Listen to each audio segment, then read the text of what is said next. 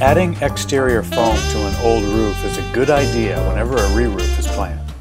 Because old roofs were often framed with 2x6s, there isn't much room for insulation. Nowadays, energy codes require a lot more.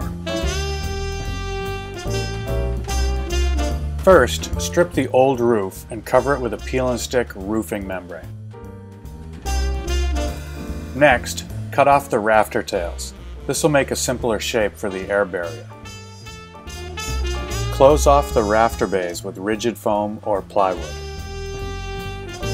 Remove enough siding so that you can get to the house wrap and then seal it to the roofing membrane with flashing tape. Install two layers of rigid foam with the seams offset. Tape the seams on the second layer.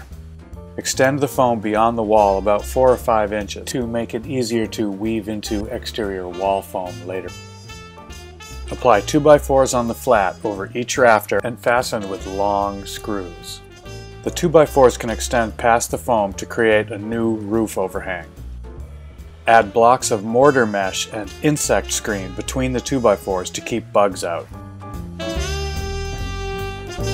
Apply a new roof deck over the 2x4s and dry it in with roofing felt or an impermeable synthetic roofing underlayment.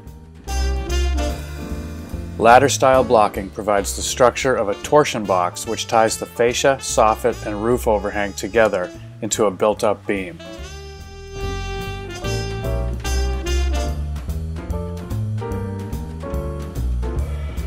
And don't forget to do the math on your soffit venting.